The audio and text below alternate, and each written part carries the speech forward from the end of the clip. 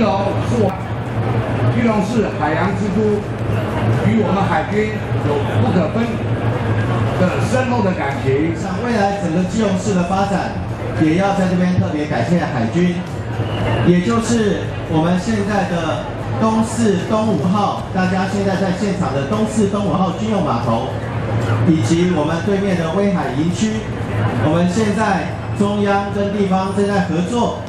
啊，整个营区将会从东岸迁移到西岸，将促进整个促进整个东岸地区的一个全面的一个发展。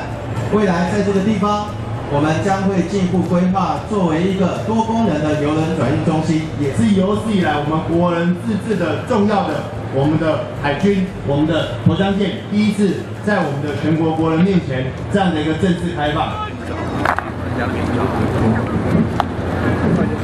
完成各项重要任务，与前辈共同创造了一对光荣的历史。此顿此顿不畏艰难、保家卫国的国军部队。